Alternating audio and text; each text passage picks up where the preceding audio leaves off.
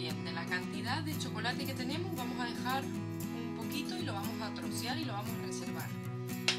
El resto lo vamos a derretir con la mantequilla en el microondas poquito a poco y lo vamos a ir mezclando. Por otro lado, en un bol vamos a poner el azúcar con los cuatro huevos.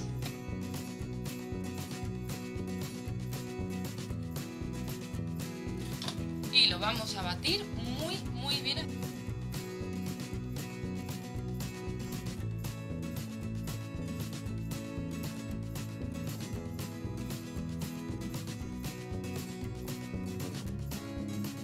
Bien, tiene que quedar así. Los huevos con el azúcar, como un merenguito. Bueno, vamos a pasar a un recipiente grande los huevos con el azúcar y aquí vamos a añadir el chocolate. El chocolate tiene que estar ya ligeramente frío, no caliente caliente. Lo pueden derretir también a baño maría. Pueden utilizar el chocolate eh, con leche negro, el que más les guste. Cobertura,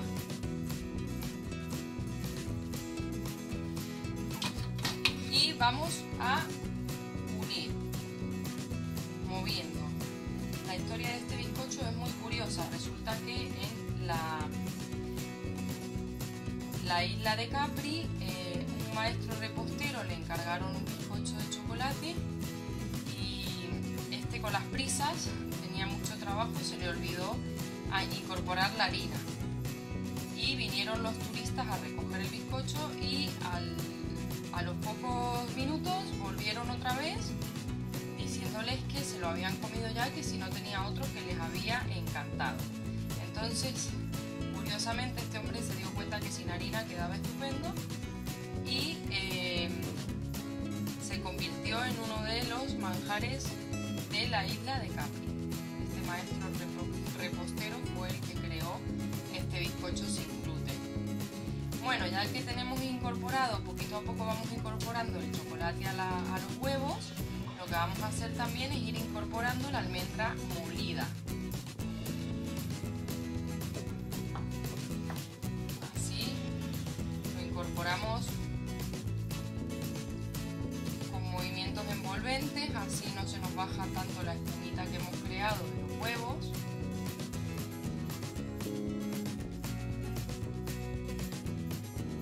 va a quedar como un brownie. Queda delicioso, de verdad que lo tenéis que probar porque es un bizcocho muy, muy, muy rico. Bien, en un molde con su papelito y previamente engrasado, vamos a añadir la mezcla. Tenemos el horno precalentado a unos 180 grados, lo vamos a dejar entre unos 30 y 35 minutos. Aquí el chocolate que habíamos apartado lo añadimos por encima.